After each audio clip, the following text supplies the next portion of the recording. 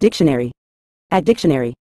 In a general context, flair refers to a distinctive and stylish quality or talent that someone possesses, allowing them to stand out or excel in a particular area. It implies a natural ability or aptitude that adds a touch of originality and creativity to a person's actions, decisions, or work. When someone has flair, they often demonstrate a unique sense of elegance, finesse, or individuality that sets them apart and attracts attention. This term is commonly associated with a sense of panache, confidence, and a knack for doing things with a special touch.